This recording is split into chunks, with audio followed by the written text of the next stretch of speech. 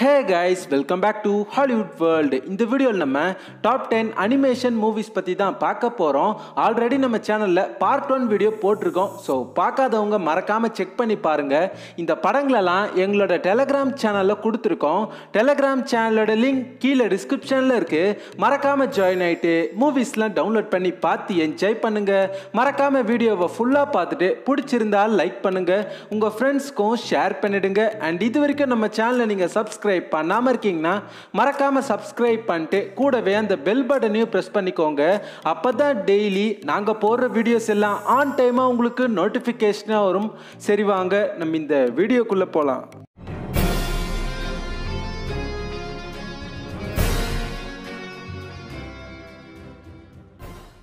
Number ten two thousand ஃபோர்டீனில் release ஆன mister Peabody and Sherman ஐஎம்டிபிலேருந்து six point eight rating தந்திருக்காங்க. இந்த படத்தோட ஸ்டோரி என்னன்னா மிஸ்டர் பி பெடி அப்படின்றது two time Olympic prize win பண்ண சயின்டிஸ்ட் நாய். இந்த நாய் கூட ஷெர்மன் அப்படின்னு ஒரு குட்டி பையன் இருப்பான். ஒரு தடவை அந்த நாய் ஒரு டைம் மிஷின் ஒன்று கண்டுபிடிக்குது. இவங்க ரெண்டு பேரும் அதில் ட்ராவல் பண்ணி நிறைய பேரை பார்த்துட்டு வராங்க. ஒரு தடவை இந்த சின்ன பையன் அந்த டைம் மிஷினை பென்னி அப்படின்ற அவனோட ஃப்ரெண்டுக்கு காட்டுறான். சில டைம் ரூல்ஸ் எல்லாம் மீறி அவங்க ஃப்ரெண்டு பென்னியை ஈஜிப்டுக்கு கூட்டிகிட்டு போறான். அந்த இடத்துல இவங்க ஃப்ரெண்டு பெண்ணியை ஒருத்தன் கல்யாணம் பண்ணிக்கிறேன்னு சொல்கிறான் இந்த மாதிரி நிறைய பிரச்சனையெல்லாம் வருது. இந்த பிரச்சனையெல்லாம் இவங்க எப்படி சமாளிக்கிறாங்க? கடைசியாக இவங்க எப்படி ப்ரெசண்ட்டுக்கு வராங்க? அப்படின்றது தான் இந்த படத்தோட ஸ்டோரி இவங்க டைம் ட்ராவல் பண்ணுற சீன்லாம் வேற லெவலாக இருக்கும். செம்மையான ஒரு அனிமேஷன் மூவி ஸோ பார்க்காதவங்க மிஸ் பண்ணாமல் இந்த படத்தை பார்த்துருங்க. நம்பர் நைன் டூ தௌசண்ட் எயிட்டில் ரிலீஸ் ஆன போல்ட் ஐஎம்டிபிலேருந்து சிக்ஸ் பாயிண்ட் எயிட் ரேட்டிங் தந்திருக்காங்க. இந்த படத்தோட ஸ்டோரி என்னன்னா இந்த படத்தில் போல்ட் அப்படின்ற ஒரு நாய் டிவி ஷோவில் நடிக்குது. இந்த டிவி ஷோவில் இந்த நாய் அதோட ஓனரை காப்பாற்றுற மாதிரி தான் சீன்ஸ் அதிகமாக வரும். உடனே இந்த நாய் அதுக்கு ஏதோ சூப்பர் பவர் இருக்குது அப்படின்னு நினச்சிக்குது. ஒரு கட்டத்தில் இந்த நாய் ஒரு ஆக்சிடெண்ட்டில் ஹாலிவுட்லேருந்து நியூயார்க்குக்கு போயிடுது. நியூயார்க்கில் நம்ம போல்ட்டுக்கு ஒரு கேட்டும் ஒரு வெள்ளை எலியும் ஃப்ரெண்ட் ஆகுறாங்க. இவங்க ரெண்டு பேரும் போல்ட் அதோட வீட்டுக்கு போகிறதுக்கு ஹெல்ப் பண்ணுறாங்க இது இதுக்கப்புறம் போல்ட்டுக்கு நமக்கு சூப்பர் பவர்லாம் எதுவுமே இல்லை. எல்லாமே டிவி ஷோ எஃபெக்ட் தான் அப்படின்னு தெரிய வருது. இதுக்கப்புறம் போகிற வழியில் வர பிரச்சனையெல்லாம் சமாளித்து எப்படி போல்ட் அதோட வீட்டுக்கு போய் சேர்ந்துச்சு அப்படின்றது தான் இந்த படத்தோட ஸ்டோரி இந்த படம் செம்ம சூப்பராக இருக்கும். குறிப்பாக இந்த படத்தோட தமிழ் டப்பிங்லாம் வேறு லெவலாக பண்ணியிருப்பாங்க ஸோ பார்க்கலன்னா மிஸ் பண்ணாமல் இந்த படத்தை பார்த்துருங்க. நம்பர் எயிட் டூ தௌசண்ட் சிக்ஸில் ரிலீஸ் ஆன கார்ஸ் ஐஎம்டிபிலேருந்து செவன் பாயிண்ட் ஒன் ரேட்டிங் தந்திருக்காங்க.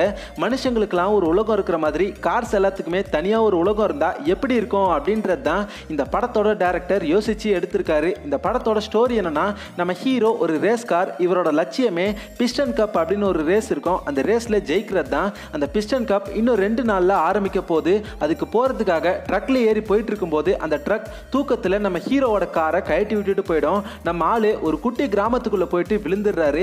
அங்கே தெரியாமல் நம்ம ஆள் ரோடு எல்லாத்தையும் சேதப்படுத்திடுறாரு. ஸோ அந்த ஊரில் இருக்கிறவங்களாம் இந்த ரோடை சரி பண்ணாதான் இன்னும் நாங்கள் விடுவோம் அப்படின்ற மாதிரி சொல்லிடுறாங்க. இதுக்கப்புறம் அந்த ஊரில் இருந்து நம்ம ஆள் எப்படி தப்பிச்சு வந்தார்? இந்த பிஸ்டன் கப்பில் இவர் கலந்துக்கிட்டு ஜெயிச்சாரா இல்லையா? அப்படின்றது தான் இந்த படத்தோட ஸ்டோரி ரொம்பவே இன்ட்ரெஸ்டிங்கான சூப்பரான படம். எனக்கு ரொம்ப ரொம்ப பிடிச்ச படம். இந்த படத்துக்கு இது வரைக்கும் மூணு பார்ட் ரிலீஸ் பண்ணியிருக்காங்க. மூணு படமும் செம்ம சூப்பராக இருக்கும்.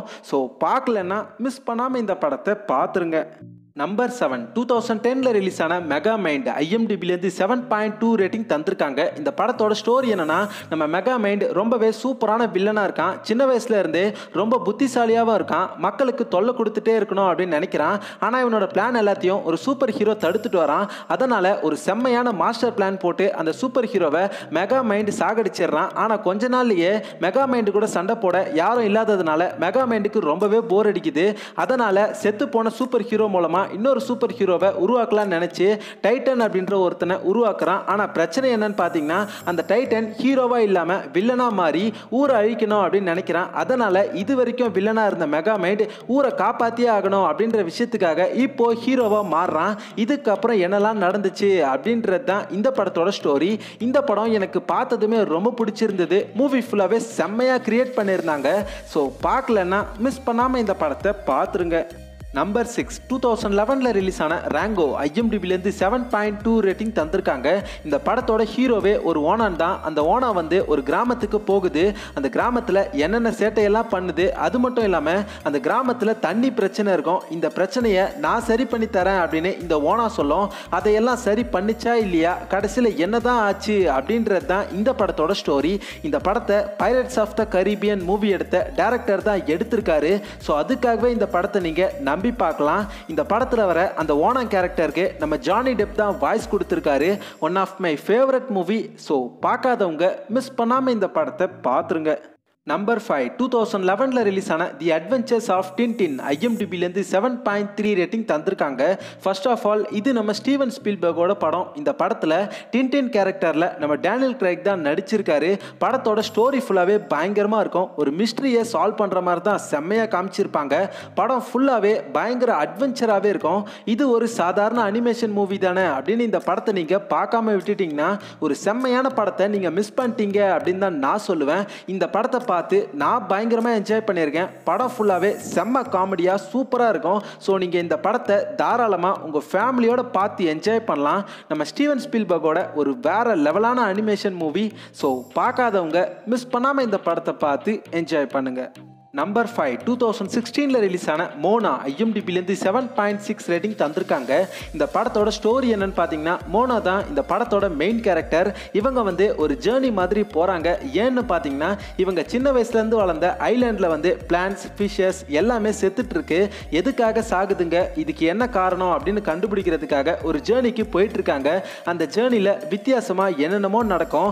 அதையெல்லாம் தாண்டி போகிறது தான் இந்த படத்தோட ஸ்டோரி ஸோ மூவி ஃபுல்லாகவே செம்மையாக இருக்கும். மூவி ஃபுல் அண்ட் ஃபுல் மியூசிக்கலாகவே இருக்கும். இது நம்ம டிஸ்னியோட மூவி ஸோ நீங்கள் இந்த படத்தை தாராளமாக உங்கள் ஃபேமிலியோட பார்த்து என்ஜாய் பண்ணலாம். படத்தில் வர விஷுவல்ஸ் அனிமேஷன் எல்லாமே செம்மையாக பண்ணியிருப்பாங்க. ஸோ பார்க்கலன்னா மிஸ் பண்ணாமல் இந்த படத்தை பார்த்துருங்க. நம்பர் த்ரீ டூ தௌசண்ட் ஃபோரில் ரிலீஸ் ஆன த இன்க்ரெடிபிள்ஸ் ஐஎம்டிபிலேருந்து எயிட் ரேட்டிங் தந்திருக்காங்க. இந்த படத்தோட ஸ்டோரி என்னன்னா இந்த படத்தில் ஒரு ஃபேமிலியில் இருக்கிற எல்லாருமே சூப்பர் ஹீரோஸாக இருப்பாங்க. ஆனால் இவங்க வந்து டே டு டே லைஃப்பில் நார்மலாக தான் இருப்பாங்க. யாராலையும் இவங்களை கண்டுபிடிக்கவே முடியாது. ப்ராப்ளம்ஸ் எப்போ வருதோ அப்போ மட்டும் சூப்பர் ஹீரோஸாக மாறி இந்த உலகத்தை காப்பாற்றுற மாதிரி தான் படத்தில் காமிச்சிருப்பாங்க. இந்த படம் ஃபுல்லாகவே பயங்கர காமெடியாக இருக்கும். இது வரைக்கும் இந்த படத்துக்கு ரெண்டு பார்ட் ரிலீஸ் பண்ணியிருக்காங்க ரெண்டு படமும் வேற லெவலாக இருக்கும். செம்மையான ஒரு காமெடி அனிமேஷன் மூவி ஸோ இந்த படத்தையும் நீங்கள் தாராளமாக உங்கள் ஃபேமிலியோட பார்த்து என்ஜாய் பண்ணலாம். சூப்பரான படம். ஸோ பார்க்காதவங்க மிஸ் பண்ணாமல் இந்த படத்தை பார்த்துருங்க. நம்பர் டூ டூ தௌசண்ட் டெனில் ரிலீஸ் ஆன how to train your dragon ஐஎம்டிபிலேருந்து eight point one rating தந்திருக்காங்க. இந்த படத்தில் ஒரு சின்ன பையன் இருப்பான். அவன் தான் நம்ம ஹீரோ ஒரு நாள் காட்டுக்கு போகும்போது ஒரு டிராகன் குட்டியை பார்ப்பான். அதை அப்படியே எடுத்து வளர்க்க ஆரம்பிக்கிறான். ஒரு தடவை இந்த டிராகனோட ரக்கையில் அடிபட்டுறோம் அப்போது இவனே சூப்பராக ரக்கையை டிசைன் பண்ணி அந்த டிராகனை பறக்க வைப்பான். இந்த டிராகனுக்கும் நம்ம ஹீரோவுக்கும் இடையில இருக்கிற லவ் பாண்டிங்லாம் செம்மையாக காமிச்சிருப்பாங்க. இது வரைக்கும் இந்த படத்துக்கு மூணு பாட்டு ரிலீஸ் பண்ணியிருக்காங்க. இந்த படம்லாம் என்னோட பர்சனல் ஃபேவரட் அந்த அளவுக்கு படம் ஃபுல்லாகவே எமோஷ்னலாக செம்மையாக இருக்கும். ஸோ இந்த படத்தை நான் உங்கள் எல்லாருக்குமே சஜஸ்ட் பண்ணுறேன் ஃபஸ்ட்டு பார்ட்டை பாருங்கள் செகண்ட் அண்ட் தேர்டு பார்ட்டை பார்க்கணுன்னு உங்களுக்கே தோணும். அந்த அளவுக்கு படம் செம்மையாக இருக்கும். நூற்றி அறுபத்தி நாலு மில்லியன் பட்ஜெட்டில் வச்சு எடுத்து நானூற்றி தொண்ணூற்றி அஞ்சு மில்லியனை இந்த படம் பாக்ஸ் ஆஃபீஸாக வாரி குவிச்சிருக்கு. எல்லாருமே பார்க்க வேண்டிய ஒரு தரமான அனிமேஷன் மூவி ஸோ பார்க்காதவங்க கண்டிப்பாக மிஸ் பண்ணாமல் இந்த படத்தை பார்த்துருங்க. நம்பர் ஒன் நைன்டீன் நைன்டி ஃபைவ்ல ரிலீஸ் ஆன டாய் ஸ்டோரி ஐஎம்டிபிலேருந்து எயிட் பாயிண்ட் த்ரீ ரேட்டிங் தந்திருக்காங்க. பொம்மைங்களுக்கெல்லாம் உயிர் இருந்தால் எப்படி இருக்கும் அப்படின்ற ஒரு சின்ன கான்செப்ட் வச்சு எடுத்த படம் தான் இந்த படம். இந்த படத்துக்கு இது வரைக்கும் நாலு பார்ட் ரிலீஸ் பண்ணியிருக்காங்க. நாலு படமும் தமிழ் டப்பில் தான் இருக்குது இந்த நாலு படத்தையும் பாருங்க செம்மையாக இருக்கும். மூவி ஃபுல்லாகவே எமோஷ்னலாக பயங்கரமாக எடுத்திருப்பாங்க.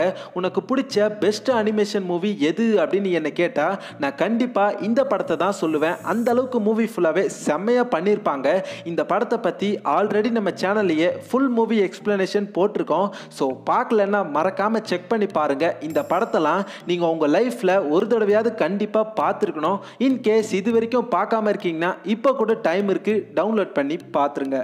இப்போ நான் சொன்னேன் இந்த பத்து படமும் வேற லெவலாக இருக்கும். ஸோ பார்க்காதவங்க மிஸ் பண்ணாமல் பார்த்துருங்க. இந்த படங்களெல்லாம் எங்களோட டெலகிராம் சேனலில் கொடுத்துருக்கோம். டெலகிராம் சேனலோட லிங்க் கீழே டிஸ்கிரிப்ஷனில் இருக்குது மறக்காமல் ஜாயின் ஆகிட்டு மூவிஸ்லாம் டவுன்லோட் பண்ணி பார்த்து என்ஜாய் பண்ணுங்க. இந்த வீடியோ உங்களுக்கு பிடிச்சிருந்தா இந்த வீடியோவுக்கு ஒரு லைக் கொடுங்க. இந்த வீடியோவை உங்கள் ஃப்ரெண்ட்ஸ்க்கெலாம் ஷேர் பண்ணிடுங்க. இந்த வீடியோவை பற்றின உங்களோட கருத்துக்களை கமெண்ட் செக்ஷனில் சொல்லுங்கள் நம்ம சேனலை சப்ஸ்கிரைப் பண்ணி வச்சுக்கோங்க. அப்போ தான் டெய்லி நாங்கள் போடுற வீடியோஸ் எல்லாம் ஆன் டைமாக உங்களுக்கு நோட்டிஃபிகேஷனாக வரும். நாளைக்கு இன்னொரு சூப்பரான வீடியோவில் உங்களை வந்து சந்திக்கிறேன். அதுவரை உங்களிடமிருந்து விடைபெறுவது உங்கள் நண்பன் Hollywood world bye bye take care and be safe நண்பா.